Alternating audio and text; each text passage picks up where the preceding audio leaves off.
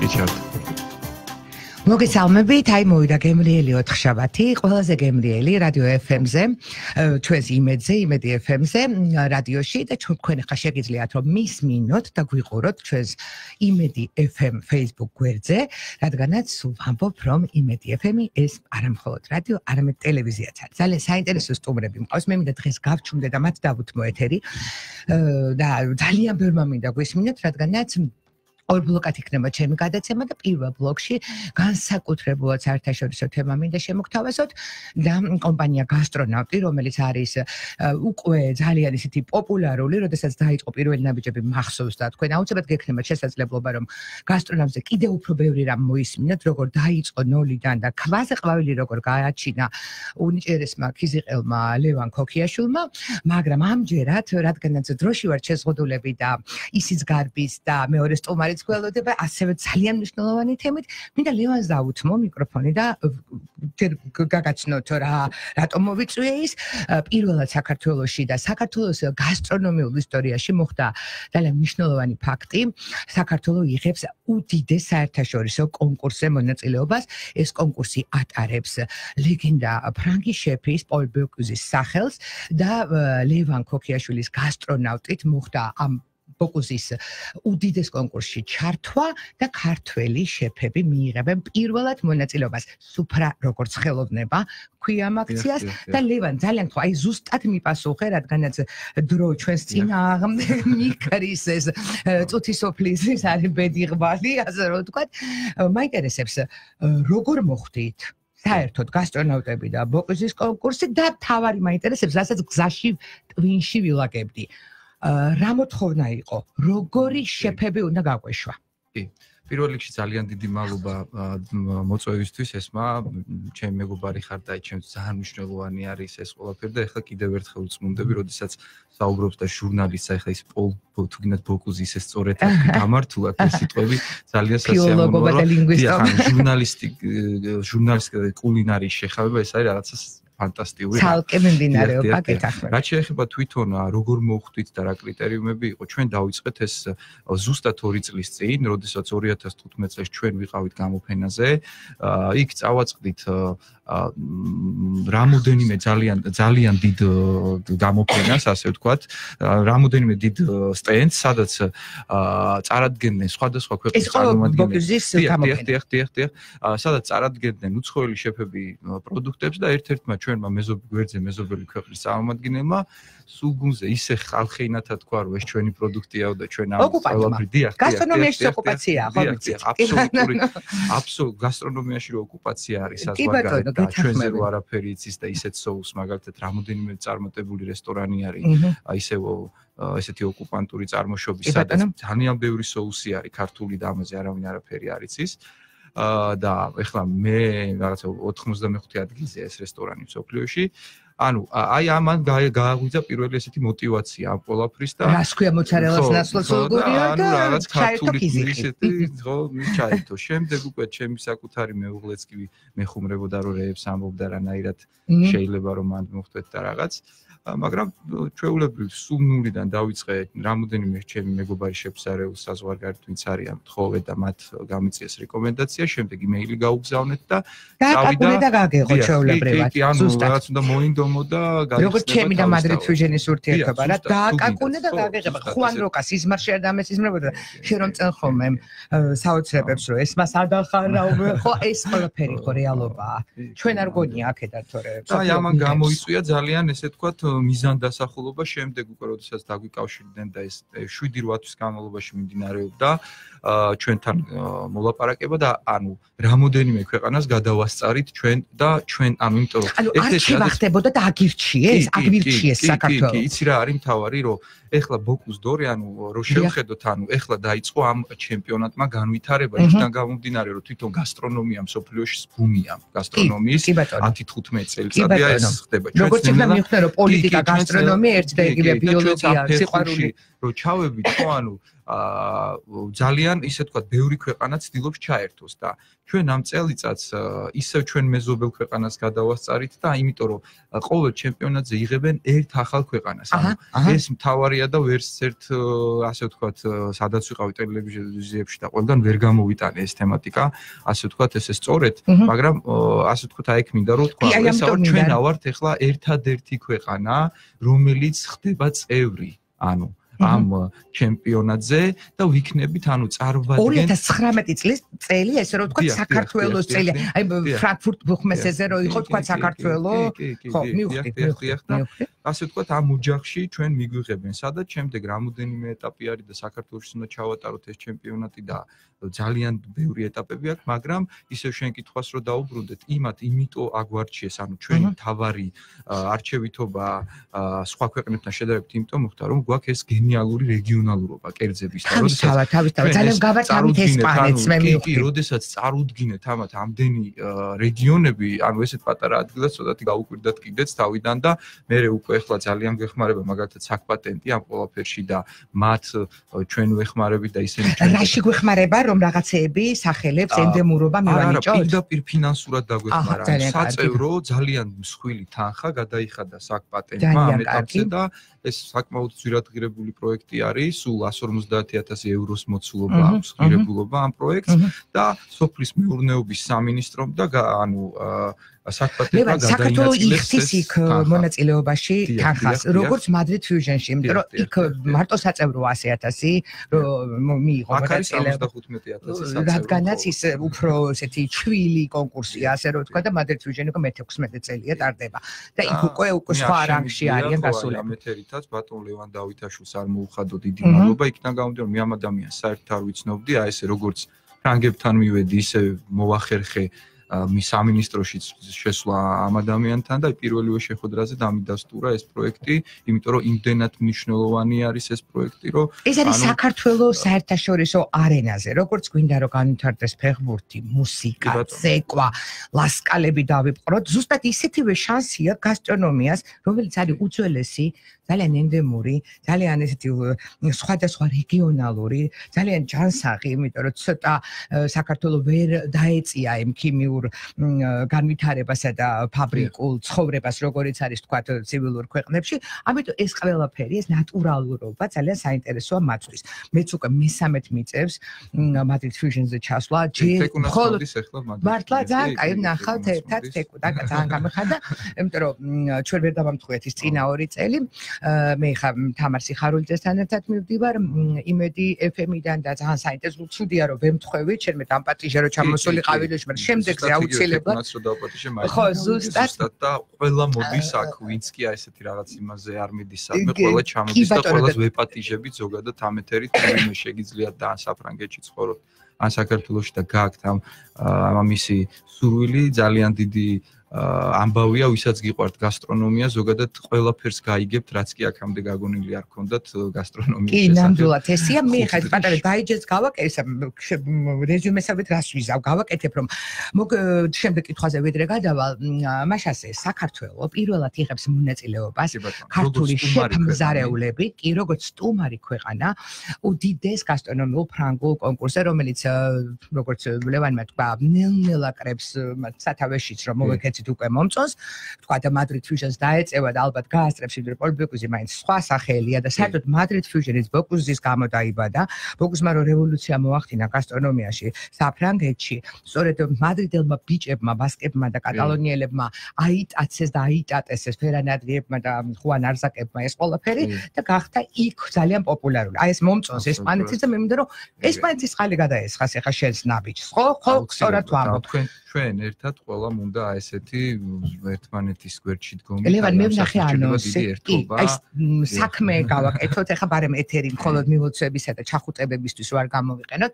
მე ვნახე ანონსი, რომ ხო რაღაცას გეგმავთ და მოდი ამაზე მელაპარაკე, რომ იქნებ რაღაც კიდევ დავაინტერესოთ ადამიანები. კი, ჩვენ ისე მოხდა, რომ ამ პროექტში დაგვაკლდა ამ ეტაპზე 15000 ევრომდე და ამ თანხის მოგროვებით ავართ ეხლა დაკავებული და სხვადასხვა კომპანიებმა გამოთქვეს აი სულ თვითონ გვერდში დადგომა. რა თქმა უნდა, ჩვენც გვაქვს მცდელობა და მივდივართ მსხვილ კომპანიებთან, მაგრამ ну აი უფრო რაღაცა ის საზოგადოება და აი უფრო ჩვეულებრივმა ადამიანებმა გამოხატეს ხარდაჭერის ასე ვთქვათ სული ამ ყველაფერში. და გავაკეთეთ ესეთ ჯივინოში ახალი სასტუმრო იხსნება ასე ვთქვათ ძალიან საინტერესო აღმაშენებლის ქუჩაზე. და აი აქ ჩვენ გავაკეთებთ თვალ იაგო ბიტარიშვილის თავისი ესე ვთქვათ კოლექციის ღვინოები გამოაქვს.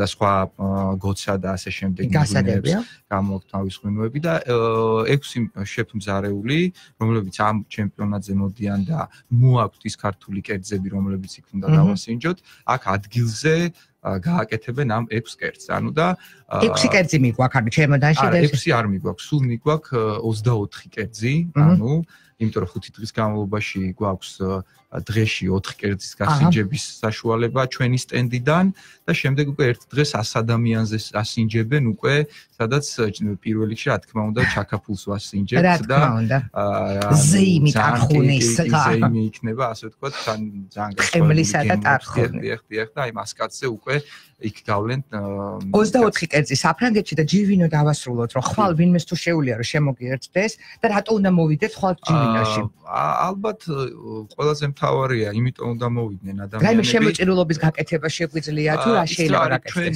ანუ რატომღაც იმდენად ბევრი პრობლემებია საქართველოში, რომ ესე დავდგეთ და შემოჭირულობა ვითხოვოთ, ხო იმ ფონზე რაც ხდება, ხო გადავწყვეტეთ, რომ არ იყო ისეთი სწორი. აქედან გამომდინარე ჩვენი სახსრებით გავაკეთეთ საქველმოქმედო საღამო, სადაც მობზანდებით მართლა დამიჯერეთ აი ხვალ ყველაზე გემრიელად შეგიძლია თბილისში ჩამოთ და საინტერესო ღვინოებიც იყიდოთ. ძალიან. თქვენს თქვენს სურვილებს და გემოვნებას დაიკმაყოფილებთ და თვითონ ჯივინოს მფლობელებმა და მამუკა და ლიდა არიან ესეთი ადამიანები გადაწყვეტეს რომ თლიანად შემოსული თანხა გადმოერიცხება ამ დიახ ძალიან კარგი ანუ ეს შემოწირულობა ამას გულისხმობ რომ ინტერესი შობს შემოწირულობას. მე თუ ინტერესი მაქვს ლევანი სწორად გაგიგე მე ყველაფერს ვაკეთებ ამისთვის ჩვენ რა გვაკლია ქართულ გასტრონომიაში სულ მინდა ამაზე ვიფიქრო.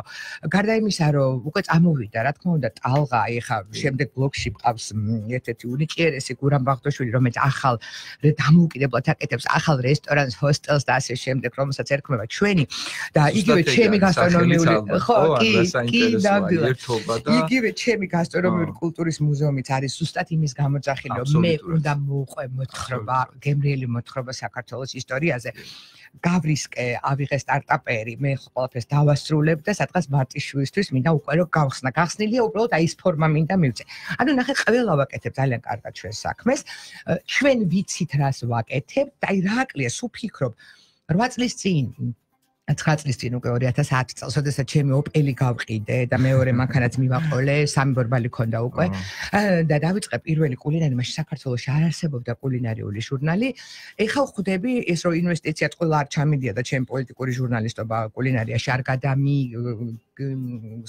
მაგრამ 9 წელიც არ ეყო იმას, რომ ადამიანმა არ ეყო ლევან, არ მითხარ რომ ეყო, ჩვენ გონია რომ ეყო და შეფები და შეფამზარეულები ვიძახი. შიგა და შიგ წამოძახება კიდე არსებობს. კაი რა ბოლო-ბოლო პოვარი ხარ ჭყალებში ოკუპანტის ენაზე. სწორად გამიგე, ეს უნდა დამარცხდეს. კულინარია და ამას მადრიდის გამოცდილებით მე მივხვდი აკეთებს სახელმწიფო. რომ თუ არსებობს ექიმის პროფესია, თუ არსებობს იურისტი, მარკეტინგი, მენეჯმენტი, აი ზუსტად ისეთივე თემაა, რომელსაც უნდა სახელმწიფომ გაუწიოს პოპულარიზაცია. აი ამის შესახებ ვილაპარაკოთ. ანუ აი ზუსტად ალბათ აი აი ეგ ყველაზე მნიშვნელოვანი რამ არის და აი ამ ბოლო დროს ავიკვიატე სიტყვა ერთობა და რა ვიცი Facebook-ზე თუ ყველგან ამ ჰაშტაგს ვაკეთებ ერთობა, ერთობა, აი ჩვენ სფეროს ჭირდება ერთობა. პრობლემების რო გქონდეს შიგნით ხო? აი სასაცილო არის იმის ფონზე რა შეიძლება კარგი გავაკეთოთ და პირიქით ერთმანეთს უნდა თუ ვერ ხედავთ დავანახოთ ეს ყველაფერი, ერთად მივხედოთ ამ საქმეს და წინ წავწიოთ ყველამ. უნდა გქონდეს მაღალი ანუ უნარი იმის, რომ გაუზიაროთ ერთმანეთს ეს კერძები, ანუ არავით არ ეხა ხაჭაპურის რეცეპტის ვიღაცისთვის არ მიცემას, ხო მეცინება ხოლმე, ანუ ხო, აი ეს არის კიდე საოცრება. ამიტომ ციგრი გამოდის არც ერთ რესტორანს, არც ერთ საცივის გურული რეცეპტი თუ ასე შემდეგ, რაც არის, არავის არ გეკუთვნით, არც მე მეკუთვნის. ანუ რასაც ჩვენ ვიპოვნით, უნდა გაუზიაროთ ერთმანეთს, უნდა გადავცეთ და ალბათ აი ესეთი ბოკუზ დორის შემთხვევა ზუსტად ეგ არის ზუსტად რომ აა ჩვენ ხო ანუ იქ როდესაც ეს ახალგაზრდა შეფმზარეულები რომლებიც სიმართლე გითხრათ მაგალითად თუ გინდათ თამთაკი კალეიშვილი ავიღოთ იმდენად გამოცდილი შეფია რომელიც იქ მოდის ახალგაზრდა შედარებით თაობის თორე ისე უკვე ძალიან გამოცდილი შეფია და მათ ესეთი ერთობა რო აქვთ გუნჩი და ანუ თუ გინდათ ლუკანაჭრეპია და ასე შემდეგ ერთად რომ მუშაობენ ეს თუ გინდათ ახლა იგუშინ რამეც ქონდა თათბირი ასე შემდეგ გეგმავთ. ეს არის ერთი სიამოვნება ამის ყურება როდესაც ერთად იკრება უკვე შეიძლება რაღაცა ვიღაცისთვის კონკურენტები რაღაც ეტაპზე იმიტომ რომ იქ როდესაც ჩადიხარ და გზნობრო ფრიალებენ ესპანელები ფრანგები იტალიელები და რავი ვინა ვთქვა მარკოელები ხო? ანუ გამოდიხარ და ეხლა ანუ კუნძულები იყო ბოლოს იმაში რა ქვია მაგრამ ფიუჟეზე კუნძულები და ბებიის რეცეპტებს ამხელდნენ და ბევრი სამუშაოა უბრალოდ და ერთ ერთ ერთობლივად უნდა დაუდგეთ ამ საქმეს, იმიტომ რომ ბიზნესის მიმართულებითაც ძალიან საინტერესოა და აგერ მაგალითად რო ავიღოთ და ამერიკაში ერთ-ერთ იტალიურ პიცერიაში რო ხაჭაპური მოექცა მათ მენიუში, ხო? იქ მინიმუმ უნდა დაწერონ რომ ეს ქართული კერძი ეს არის პროდუქტი. ეს ენდებურება უნდა შეძლებონ. დაწერონ იტალიურ მენიუში, მაგრამ ჭყალებში უნდა ეწეროს რომ ეს არის საქართველოსდან. ანუ ამ ეტაპზე ეს არ არის ეს დაწესება და დაიბადა და გაიზარდა საქართველოში. კი, ფესტივალებზე და ესეთ მომავალში 2019 წელს სადაც შენ დადიხარ აი მაგ ფესტივალზეც უნდა წავიდეს საქართველო, ანუ ყველგან უნდა ძვირია, მაგრამ უნდა გადავდოთ, უნდა მივიღოთ მონაწილეობა. გადაწყვეტილება ეს იქნება კერძო სექტორი. ეხლა მაგალითად ხო, როდესაც წავიდა საქმე საბოლოო ჯამში, ხო, აი საქმეზე რომ მივედით რა, სახელმწიფო სტრუქტურა უფრო გვერდში დაუდგა ამ საქმეს ვიდრე კერძო სექტორი. არ ვიცი, ეს ესე თვითონ ძალიან კარგი, ეს მე მგონი მომწიფდა ეს საქართველო დაინახა რომ გაიზარდა ტურიზმი და განსაკუთრებით ეხლა მე სადოქტოროს რომ ამთავრებ ლევან ჩემს სადოქტოროს ამ გემოსონი და მეხსიერება. ა? როგორ ველოდი? ხო, აუცილებლად რა თქმა უნდა დაცვაზე და დისერტაციაზე და დისერტაციაზეც იქნები, მაგრამ რას ვუკვირდები? ხა ჩემთვის საკვლევი ლაბორატორია, ჩემი გასტრონომიული მუზეუმია. რას ვუკვირდები და სულ ვიწერ, ხო? რისთვის ჩამოვიდა საქართველოში მხოლოდ გელათის სანახავად წესვითი ცხოვლის თუ კიდევ რაღაცისთვის. და აი ამ აღთვანებული ბუნებისა და ტაძრების მერე პირდაპირ სუფრაზე გადადიან და ეს არის დღესასწაული გვეუბნებიან. აი 29 დეკემბერს გასტრონომიულ მუზეუმში მივიღე ოჯახი, რომელმაც გადაიხადა ხუთმაგი არ გატყუებ, იმიტომ რომ ენახა როგორ ვაკეთებ გოზინახს. გოზინახს როგორ ვაკეთებ? გეზინახია ესე შემოვიდნენ რა გვინდა რაღაცა იმის მოფიქრება რაღაცა იქ რაღაცა აგერა გვაქვს ტექნოლოგიების და კი ბატონო კი ბატონო და თან ჩემი გოზინახი კლაწონა და კლაწონა და მაგარია და აი ეს გაგიშდნენ ამაზე ეს გრილიაჟია ეძახეს და არ წავიდნენ და უბრალოდ ახალი წელი მოდიოდა და უკვე თოვლის პაპა კარზე აკაკუნებდა. თორე დარჩენასაც აპირებდნენ. ასე რომ საქართველოს მიდის იმ გზის რაც ჩვენ გვინდა მეტი გამარჯვება მინდა საერთაშორისო ბაზარზე. იცით რა აი მოდი ესე ვთქვა მეზობლებმა იციან ძალიან ეს ჩვენი გემო. მეზობლემა იმ 15-მა რესპუბლიკამ მალავენ, მაგრამ იციან, იციან და ამის გამო ჩამოდის სინდისიერი სტუმარი, უსინდისო იპარავს, ასეა რა სამყაროში. მაგალითად აიხლა ერთ-ერთი რაღაც ჩვენ როგორც კომუნიმას ხო, ანუ ლოს-ანჯელესში არის ძალიან ბევრი რესტორნები, ოღონდ არ არის ქართული რესტორნები, არის სომხური, ესე ვთქვათ, რესტორნები და 80% არის ქართული მენიუები. ანუ ძალიან ბევრი მეგობარი მყავს სასომხეთშიც, საზღვარგარეთთან ჩემი მეგობრები, მაგრამ უბრალოდ ვაფიქსირებ, რომ ანუ აი ქართ საქართველოს ჭირდება გამოძახილი და გატანა ამ აუცილებლად აუცილებლად იმიტომ რომ პატარა ვარ ეს არ ნიშნავს იმას რომ გლობალიზაციამ გადამსანსლოს და ჩემი ნიჭი წაიღოს ვიღაცა. მე ვან უდიდეს გამარჯვებას გისურვებ. მე ყველა ვიცი ვის ვინც მიყავს ეხა სპეციალურად არ ჩამოვთვალეთ რომ მათი ბიოგრაფიები წაიღებ და ჩვენს ეთერს. ხვალ ჯივინოში ყველა შეუულია რომ დაგზადაგილოცოთ მე აუცილებლად მოგიწევ პოსტფაქტუმ ჩვენს აუცილებლად გამარჯვებულებთან ერთად და მეტი წარმატება საერთაშორისო ასპარეზზე. ქართველებს ეს შეგვიძლია. ქართულ გასტრონომიულ კულტურას ეს შეუძლია. დიახ, გეთახმებით. დიდი მადლობა მოწვევისთვის და ჩამოდით და გელოდები. თავიდან უნდა ვილაპარაკო დიდი ხანი. აბა კარგად, რეკლამა ჩვენს ეთერში და დაგიბრუნდებით გურამ ბაღდაშვილთან ერთად. რადიო იმედის ეთერშია. რეკლამა 2019 წლის 1 იანვრიდან პერიოდული ტექნიკური ინსპექტირება სავალდებულოა საქართველოსი რეგისტრირებული ყველა ავტოსატრანსპორტო საშუალებისთვის. მსუბუქი ავტომობილის ტექნიკური ინსპექტირების საფასური 60 ლარია მთელი საქართველოს მასშტაბით განთავსებულ ცენტრებში. თუ თქვენი ავტომობილი პირველ შემოწმებას ვერ გაივლის, თქვენ გაქვთ 30 კალენდარული დღე ხარვეზის გამოსასწორებლად. იმავე ტესტირების ცენტრში ავტომობილის განმეორებითი ინსპექტირება უფასოა. დამატებითი ინფორმაციისთვის დარეკეთ ხელხაზზე 14 84. გამართი ავტომობილი და იმგზავრე უსაფრთხოდ. დამატებითი ინფორმაციისთვის დარეკეთ პორშებათიდან პარასკევის ჩათვლით ხელხალზე 1484. გამართი ავტომობილი და იმგზავრე უსაფრთხოდ. ჯავრიშვილის კლინიკა ოფთალმიჯი მთლიანად გადადის კატარაქტის ფემტოწამობრივი ლაზერით მკურნალობაზე. ოფთალმოლოგიური ინდუსტრიის ეს უკანასკნელი მიღწევა უზრუნველყოფს მაქსიმალური მხედველობის მიღებას რამდენიმე საათში. მხოლოდ ჯავრიშვილის კლინიკა ოფთალმიჯი. ტელეფონი 223-123. თეგეტაში საახალწლო აქციები გრძელდება. გრანდიოზული 30%-იანი ფასდაკლების აქცია. შეიძინეთ კერხერის საუკეთესო ხარისხის სარეცხი დანადგარები და მიიღეთ 30%-იანი ფასდაკლება. დაგვირეკეთ 226 44 44.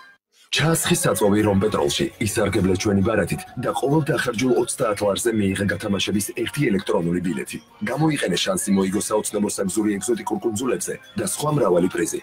რომ პეტროლი მიიღე მეტი საწვავისგან.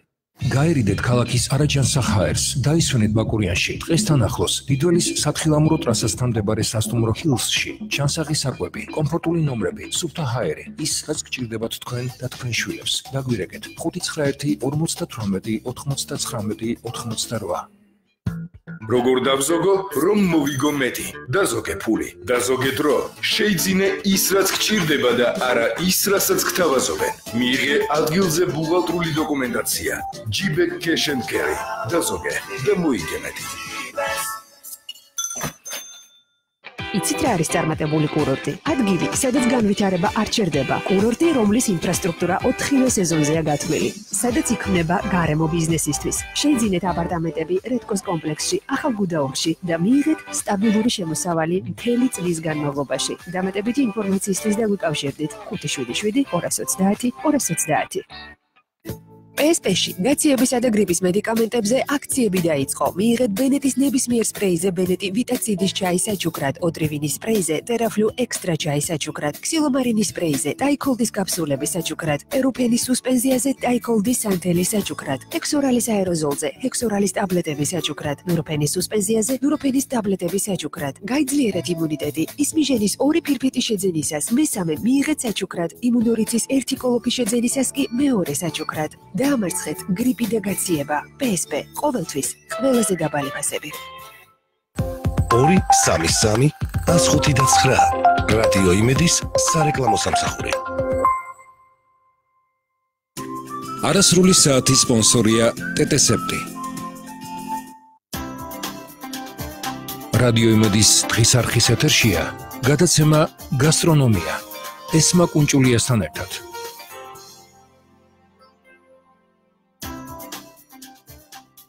მოგესალმებით დაუბრუნდი. ჩემს გენიალურ სტუმართან ერთად შეგახსენებთ რომ არ მხოლოდ ვისმენთ რადიოში გასტრონომიას მასთან და არამედ ხა გვიყურებ შეგძანდით Facebook გვერდზე იმედი FM და დაგვინახავთ. უამრავი მაყურებელი ყავს და ძალიან ბედნიერი ვარ რომ ასეთი დიდი ინტერესი აქვს ამ გადაცემას. ჩემი სტუმარია. მე იმდენჯერ დავაანონსე და წინა ბლოგში სხვა სტუმართანაც ერთად ვისაუბრე. ჩემი ძმაკაცი, ჩემი მეგობარი, უნიჭერესი ადამიანი, ვინც თავისი პროფესიული ცხოვრების ნაწილი ევროპაში დახვეწა, განლო, თქო და აქედანაც ცნობილი შეფი წავიდა რესტორანი ევროპის თემები. მე ძალიან კარგად მახსოვს.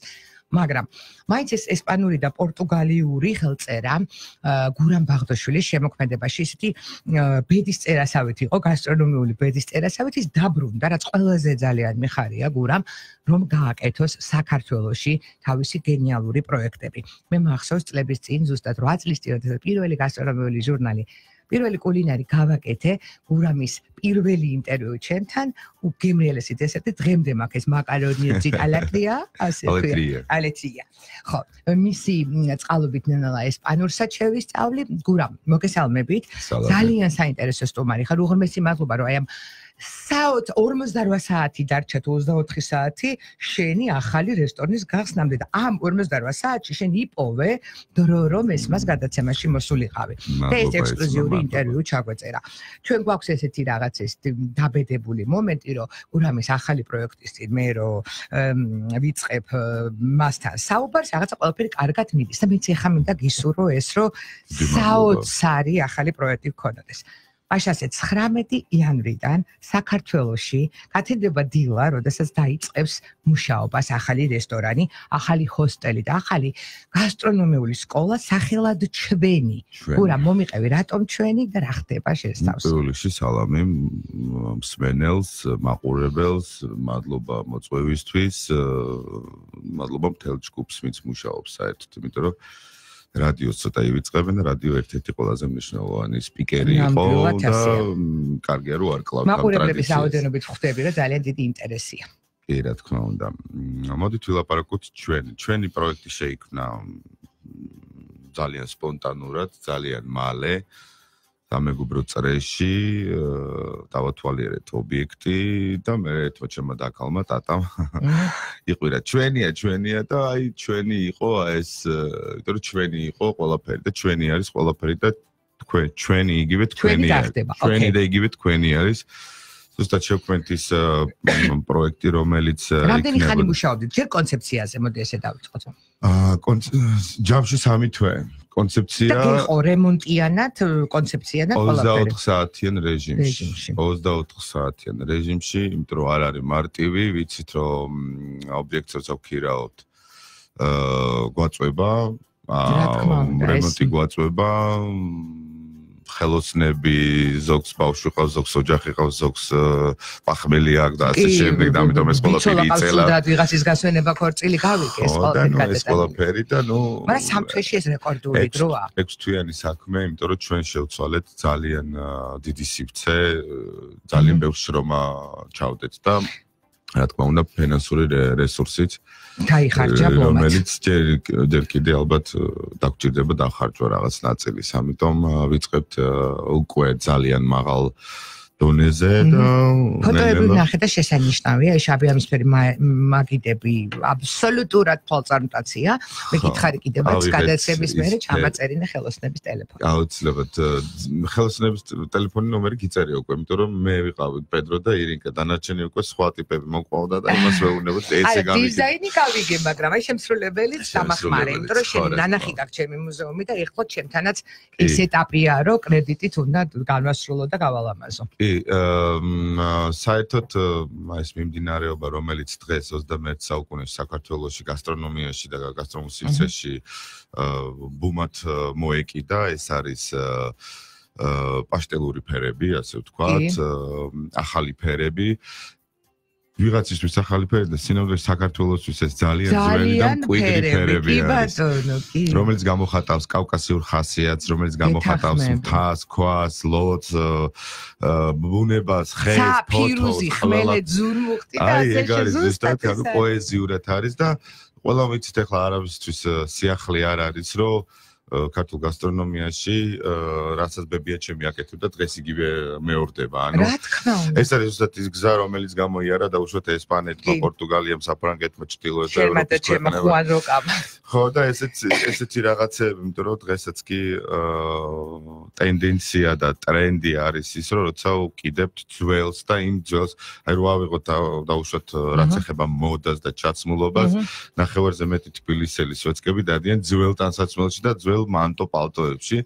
და იგივე შარვალი და იგივე მაისური იქნება თუ საროჩკელ ქართულად როგორ ხო ეს ბრუნავს ანუ ამიტომ მივდივართ იმ ტრენდზე ვიცით რომ საქართველოს არის საინტერესო ტურიზმი ტურისტისთვის და საქართველოსი ტურისტს აინტერესებს რაც არის ნამდვილი ქართული რაც არის ხმელეთ ზურმუხტი და ჭრელა ჭრულა ამიტომ აბსოლუტურად თავის კომერციული მხარე დავიჭირეთ და ზუსტად იმას ვთავაზობთ ქართველსაც და ასევე ტურისტსაც და ტურისტულ ზონაში ახლა უკვე იმიტომ რომ აბაში ანუ მაინც მან იფიქრე რომ ჩემს ავით ესეთი რისკი რომ გავიდე ქალაქარეთ რაც მე ხელს მიშლის ზე განვითარებაში. მე რომ ეს ჩემი ობიექტი მქონდეს თქვა მაგრამ რაღაცნაირად მეორე მხრივ საინტერესოა რომ ხო. ეგეთიც უნდა იყოს. ახლა ჩემი დანაშაულად შეცდომათ არ ჩავთვლი ანონას გაკეთებას აბაშიძეზე. მე ახალი ჩამოსული ვიყავი არ ვიცოდი ვეცად შემექმნა პროექტი თანამედროვე საავტორო სამზარეულოცი აა თავისებურად გაამართლა, მაგრამ ეს არ იყო ის ბიზნესი. არა, მე ვფიქრე რომ გაამართლა იმეტებზე, შენ, უბრალოდ შენზე გადავიდა მთლიანი ენერგეტიკული, ანუ უნდა იყო გურამი. კი, კი, კი, იყო. მე მინახი ხარ იქ როგორ შრომობ და ამიტომ. კი, საქმე იცით რა შეარის, რომ მე მინდოდა რომ საქართველოს ცოტა გასტრონომიული მხარე ალბათ კონტემპორანიანის ხედვით წამოსულიყო და მივხვდი რომ ყავს მომხმარებელი, მაგრამ ჯერ არ ყავს ის რაოდენობა, რომელიც ჩვენ გვინდა, ამიტომაც აი ეს მე თქვა, რაღაცას ვასწრებთ, როგორც ჩემი წოდორეთით დავასწარი, რაღაცა პერიოდში ყველა გარეთ გავა. რა თქმა უნდა, ცენტრი იმუშავებს, შენი ცენტრი იმუშავებს მუდამ და შენი რესტორანი ჩვენი იქნება სულ, მაგრამ აი ეს ქალაქ გარეთ გასვლები, მარტო პიკნიკი კი არა და ბუნებაში როკოცონი დავანთოთ, არა, სადღაც თოვლში ბუხართან ეს უკვე წამოსულია ეს უკვე, მაგრამ მაინც ჯერ 30% არ არის ამის ბუნება და village ფერმერული სუფრა. ტურ ბიზნესის მნიშვნელოვანი არის იმიტომ რომ აა ტრადიციულად ბუნებრივი ტიპები ვართ. ჩვენ ქართველები და ჩვენი კულტურაც ბუნებრივი არის იგივე ახლა მე კამათი მქონდა ერთ-ერთ სახელს არ დავახო დავასახელებ წარმატებულ იტალიელ შევზარეულთან როცა მან განაცხადა რომ ხინკალი არის საშინელება იმიტომ რომ ძალიან ბევრი ცომი ქონდა. და ნუ მიწერ მოწერაში აუხსენი რომ იმ დროს როცა ფარხმლით საქართველოს ოჯახს იცავდა თიული ქართველი მაგ დროს უკვე ჰიგიენა ქონდა მაღალ დონეზე აწეული და ამიტომაც შეიქმნა ხინკალი ხელის მოსაკიდით რომ ეს ბინძური ხელის ნასისხლიანები ცხარნაკიდი ტყავნაკიდი იმიტომ რომ უნაგირი ვიცით რომ ტყავისგან შექმნება და ტყავი ბაქტერიების ბუდე იყო. ამიტომ შექმნა ეს ხინკალი ესეთი ყუნწით რომ შეჭამოს და ეს ყუნწი გადააგდოს. და ეს ვერ მიხვდა ეს ტიპი იმიტომ რომ რა თუ ნამდენი ცომიო ხო და ამაზე მე მქონდა კამათი და მე უკვე აუხსენი მირო ჰიგიენა დანა ჩანგალი კოუზი კულტურა ჩვენ რო გქონდა ისეთი იმ დროს იმ პერიოდებში არავის არ ქონდა მაგრამ სამწუხაროდ საბჭოთა კავშირმა ძალიან დააზიანა ჩვენი კულტურა და ჩვენი ჩაცმულობა ჩვენი ყველაფერი ასე ვთქვათ.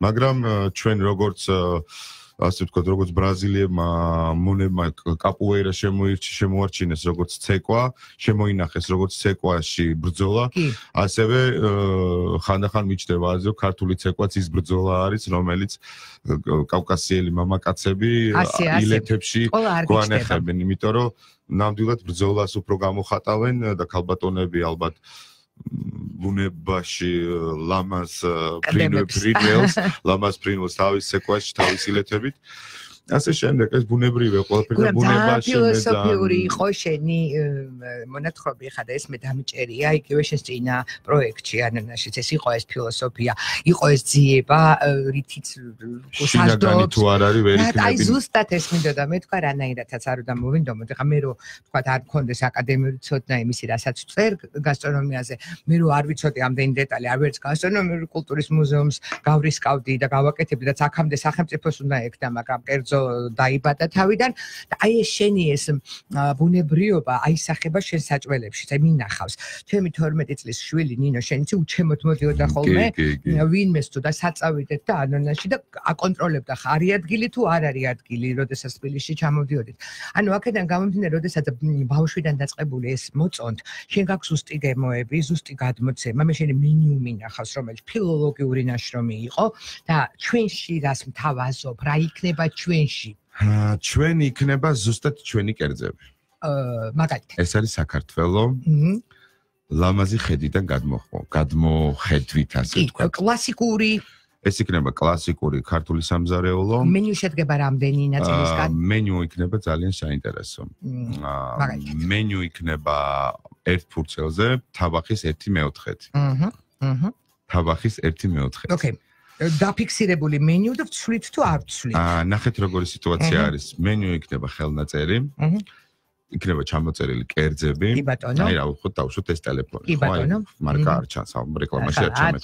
დაახლოებით ამაზე ოდნავ ცოტა დიდი ფურცელი, აწერია ლოგო ჩვენი რესტორნის. აა პარალელურად არის კერძის დასახელება, რაოდენობა, აა კერძის ფასი. და დაბლა ეწერება ბოლოში მეორე მხრიდან რანაირად შეცვლილი შენ კერცი. ამიტომ კალნისტარები და ქაღალდები იქნება მაწმის კილაში, შუშის მაწმის კილაში და თქვენ თვითონ შევკვეთავთ იმ კერტს და დაბლა უკან მერე მიაწერთ და უშუალოდ მინდა უკვე დაგემოვნების მერე რა შეცვლები? არა, არა, სანამ დავგემოვნეთ და უშუალოდ რომ არ იყოს რომ აი მიმტანმა შეცდომა გააკეთა თქვენ შეკვეთასთან იცი რა არ მე ისიც მქონდა შეკვეთილი რატო არ მოხდა? ამავე ფურცელზე თქვენ ინდივიდუალურად თქვენ თვითონ არჩევთ თქვენ კერტს აა წერთ დაუშვათ მინდა ერთი ხინკალი მინდა 10 წელი ჩახოხვილი ერთი პორცია ხინკალი და მინდა ღორის ანტრიკოტი ციცაკის გარეშე. ანუ ცოტა მე ვარ ჩემი თავის მიმტანი ესე რომ თქვა შემკვეთი თქვენ თვითონ არ უკვეთავთ თქვენ კერტს ეს ქალდი მე მედი სამზარეულოში მიმტანი მიმტან შეყავს კომპიუტერში ანუ პროგრამაში და ეს არის ის დამადასტურებელი რომ აქ თქვენ არავინ არ მოგატყუათ, არავინ არ წაგართვათ. მხოლოდ ეს არის საინტერესო თამაშია, მე მაგრამ თამაშია, იცი, მარტო მოგატყუ არა, ხა გურამ ბაღდაშვილი არ მომატყუებს აპრიორი. არა, ბაღდაშვილზე არა, ხშირად მიმტანებს ვაბრალებ ხოლმე. მე შენ ეს შეგიკვეთე და სინამდვილეში მეგობრებთან ყაყანში ვიყავი და შევკვეთე თუ არ შევკვეთე არა. კი, გეთანხმები, გეთანხმები. ამიტომ ვიცავ ესე. აბსოლუტურად, მაგრამ ეს თამაშია. ეს არის ჩემი თანამონაწილეობა. ეს იაპონურია, სუდოკუს. სუდოკუს ბიძაშვილი. კი ბატონო ეს უკვე მომწონს უკვე მომწონს. იმიტომ ჩვენი რო არის მე თვითონ ჩემ შეკვეთას ჩვენი ანუ გათავისება შემოვიდა და ხდება შენი. რესტორანი ხდება ჩემი როდესაც შემოვა მე სული მაგ ხა 19 გათენდეს როცა შენთან მოვიდე ერთი სული მაგ რომ ბევრი ფოტო გადავიღო და გავაგემოვნო. თავი მაინტერესებს აი როგორ შეარჩიე მენიუ ახინკალი გექნება? აუცილებლად ხინკალი მექნება ხუთი სახეობის ყველა იქნება პორციული იქნება თუშური აუცილებლად ეს არ იქნება მანქანის პრესით გაკეთებული ხინკალი ეს იქნება დაკეპილი. ენერგეტიკა გადაცემული. ხელით გვექნება ორი მინი ხინკლუშკები ესეთი ვთქვათ რომელიც მზადდება ბრინჯის ფქვილისგან. იმიტომ რომ ვიცით რომ ტურისტულ ზონაში ვარ და დღესაც საქართველოსში ძალიან ბევრი ადამიანს აწუხებს გლუტენ ალერგია რომელიც არც იციან რომ აქვს ეს გლუტენ ალერგია. უბრალოდ არ იციან რატო რითი ხვდებით რომ არ ვიცით ხო და გვექნება ეს არჩევანი, რა თქმა უნდა, ეს ყველაფერი იქნება ჩემი განათლებიდან გამომდინარე ფრანგული ხაზი. ეს იქნება ფრანგული ხასიათი გამომჟღავნებული, იმიტომ რომ იქნება ნაღების და მალააზიის მწვანე ციცაკის საუსში, ხორცის და იქნება ცოტა ასე ვთქვათ, მოპარული არ, იმიტომ სიტყვა მოპარული ჩემთვის არის ძალიან აა ცუდი ჟღერადობის. მე ვიტყვი რომ დღეს რომ ვიღაცა თქვა რომ ეს ჩემი მოგონილი არის, ის ადამიანი უნდა დაიყვანო დახვრიტო. დეკრიმინალიზაცია თქო, სტატიაც თქო და გახსოვს არაფერი არ არის ჩემ მოგონილი, არაფერი არ არის არც ერთი შეფს მოგონილი, ეს არის ეს არის კაცობრიობის ქვაბში მოხარშული გემო. ბრავო, ბრავო, ბრავო, ბრავო, ბრავო. ერთი რაღაცა მინდა აღნიშნო, რომელიც ძალიან მნიშვნელოვანი არის, რომ ყველა ადამიანმა იცოდეს, რომ საქართველოს კულინარიის მემკვიდრეობა ეს არის ყველაზე მდიდარი განძი და ყველაზე დაკარგული განძი ქართული ერისთვის. და ალბათ დედამიწისთვისაც კი. კი, კაცობრიობისთვის აკიდაპირ ესე რომ. და გასით რატომ? იმიტომ რომ ის ქვეყნები დღეს რომლებიც ლიდერები არიან გასტრონომიულად, ჩვენ ვიცით ფანტასტიკოდ ეს არის ჩრდილოეთ ესპანეთი, ეს არის ცენტრალური ესპანეთი, ეს არის პორტუგალია, ეს არის საფრანგეთი, ეს არის ევროპის ჩრდილოეთ ევროპის იაპონია იგი. იაპონია ახალი აღმოჩენა არის ასე ვთქვათ და ასე. გასტრონომიული დედაქალაქი ტოკიო. ამ ქვეყნებს ქონდა ძალიან პატარა კულტურა გასტრონომიული. და როცა წავიდა ბუმი გასტრონომიული ბოლო 25 წელი არის ამ ხალხმა ძალიან ბევრი მოიპარეს, ასე ვთქვათ, პირდაპირ სიტყვის მნიშვნელობად, ოღონდ რბილად გამოხატული მოპარვა. აიღეს, ესე ვთქვათ, როგორც მე ვიღებ, როგორც კი, როგორც მე ვიღებ და ასე შემდეგ, რა თქმა უნდა, რა. და ამას თავის ინტერპრეტაციით აკეთებს. ამიტომ ჩვენ იმდენად გაზარმაცებული ერი ვიყავით, რომ ჩვენ აი ეს მემკვიდრეობა სიმდიდრე განძი რო გადმოგვეცა, ჩვენ არ განვითარეთ ეს. გეთანხმები, გურა საოცარ რაღაცას ყოლა, აბსოლუტურად ქონდა ტორტილა, ქონდა რაღაც კეჟადილა და მორჩა. იმის იქით არ გადიოდა მაგის გასტრონომელი, ქონდა დანარჩენი სალაფავი. ზუსტად პირდაპირ სიტყვის მნიშვნელობით თლიანი. პოლბეკუსი დაეწაკა და თქვა რომ არ შეიძლება მოგწავლოთ შვილო. დილო ესპანეთი სამხრეთ საფრანგეთი, პორტუგალია, ეს ქვეყნები იყვნენ სალაფავზე გაზრდილი. ღორის ლიკი საქონის ფაშვი, იმის ყური, ამის თავი, ეს იყო ნარჩენებისგან შექმნილი კერძები. მაგრამ ყვა იყო აყმენოს და ხეთწლის გადარჩენის კერძები იყო, ხდები? მე ამ ყველაფერმა წამოიღო გემო, ჩაჯდა გენეტიკაში, ჩაჯდა ჩვენ ADN-ში, DNK-ში, ხო? ჩვენ ეს ყველაფერი შეხვდა აქ ზუთხი მუთხი როჩი მოჩი ციცილა შმერულად მიფრინავე რაღაცა ინდაური საიქიოში ბაჟეში რაღაც. ეს ყველაფერი რა არ გიხარო აღმოვაჩინე სასწაულები ნუ არ ვიცი. აქ ჭირდება აქ ჭირდებოდა ამის განვითარება მაგრამ დღეს უკვე მიხვდით რომ ჩვენ კერძებს ისე იღებენ და ისე მიაქვს ქვეყნებს მიაქვს თორე ხო ქართველმა რო საქართველოსში სხვანაირი ინტერპრეტაცია მისცეს იგივე საცივს იგივე ომს იგივე ელარჩ იგივე რაღაცას ჩვენ ვიცით ფანტასტიკურად რომ ეს ყველაფერი რასაც ბებიაჩემის იყო მაშინ ახლა შენ თუ ბებიაჩემის ნაირად ელარჩს აკეთებ ხო მე არ უნდა ვთქვა რომ შენ ბებიაჩემს მოპარე ხდები ანუ აი ეს მოდით დავამთავროთ ამას საუბარი და გადავიდეთ იმაზე განძი გვაქვს განძი არ დავაფასეთ. არ დავაფასეთ. ეხლა გავახილეთ თვალები, ეხლა ვბრუნდებით ცოტა განათლებული ტიპები, ზოგი ევროპიდან, ზოგი ამერიკიდან, ზოგი ავსტრალიიდან, ზოგი იქიდან, ზოგი იაპონიიდან. გვინდა რომ დაბრუნდეს ბევრი შეფები, გვინდა რომ ბევრი შეფი წავიდეს აქედან, ისწავლოს განათლება მიიღოს. პირველ რიგში საკუთარ წყალზე გამოცადოს რა არის ემიგრაცია, რა არის უმეგობრობა, უენობა, უარაფრობა. და ნუ 14 საათიანი გრაფიკი, ადექი დაწეკი, ადექი დაწეკი, ზაოთ კრავოთ, ესე ვთქვა.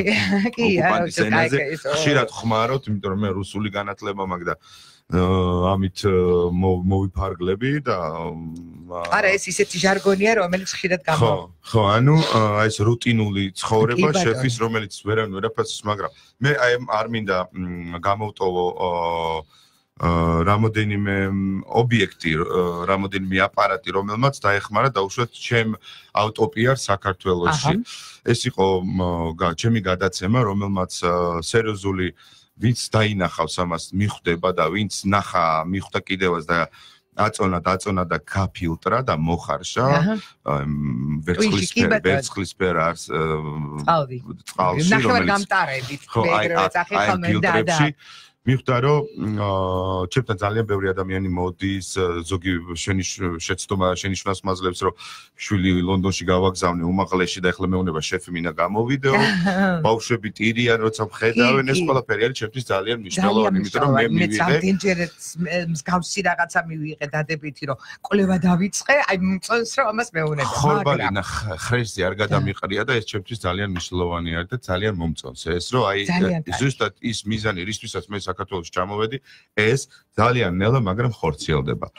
Ну, ვიცით ალბათ, ალბათ გაიგეთ, ხო, რომ წლის შეფი გავხდი? კი, კი, გომიოში კი ბატონო, კი, ძალიან. გომიოც ძალიან. ბევრი უკიდე უფრო უმაღლესი ჯილდოები უნდა გქონდეს. ხო, მინდა მინდა ვთქვა, რომ ძალიან მნიშვნელოვანი არის ესეთი აპარატები, როგორც აი შემოდის დაუშვათ მიშელინი ჯერ ძალიან შორს ავდგევარ მიშელინის. ხო, ერთი კვირის წინ ჩავწერე მიშელინის ევროპის გიდთან თავა რედაქტორთან, ეხავ თარგმნი წერილს და დიდი ინტერესი არ გამოთქვა საქართველოსზე. ვერ გამოთქვა გამოსვალე. ძალიან იანგვარ, მაგრამ მე ვფიქრობ, რომ პირდაპირ მინდა მე ინგლისურადაც დავდო და მე შეთვითონ გააკეთე ის ტრანსლაცია. ვფიქრობ, რომ აი გოემიუმს დიდი როლი ითამაშა ჯერ ბები არის ძალიან პატარა არის ასე ვთქვათ 2 წელი არის სულ მაგრამ რა თქმა უნდა არა ევროპაში ძალიან ეზეა და ამიტომ დარწმუნებული ვარ რომ ის 7 წლის წინ მქონდა გოესთანა და მიოსთანაც ორი ჟურნალისტი ვინ შექმნა ეს ჟურნალი? ორივესთან ინტერვიუ ხა 2017-ში გადაიცვალა ერთ-ერთი და სამწუხაროა და ეხლა ახალი სიცოცხლე შთაებე რა თავიდან და პოსტსაბჭოთა ქვეყნებშიც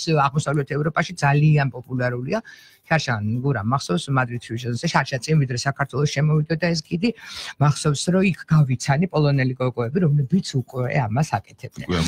იცით ისე თქვა მე რომ ეს ერთი ჯილდო და პირველი არ არის შენთვის და და კარგი ძალიან სწორი რაღაც თქვი რომ პიარს თავისი საკ მუხტი თავისი ძალა.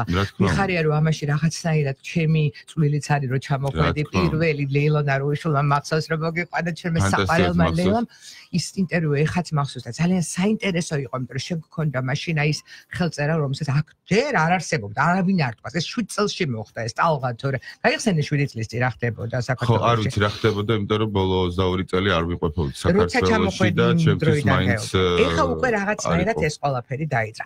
მე ხა რატო მაინტერესებს განსაკუთრებით გურამ ბაღდაშვილი, რადგან ჩვენს ტვინში არის ერთად აი როგორც ჩვენ ეძახი ეს ვერცხლის წყლის მოხარშვა და ნახევარ გამტარებს ჩვენ ერთნაირად ვაზროვნებთ ხოლმე რაღაც მომენტები. შენში ჩვენში არის ევროპული გამოცდილება, ევროპული განათლება და ქართული სინამდვილეების შეწყდა და აბა როგორ შეარწყავს აი ეს მაინტერესებს და გიხურებ.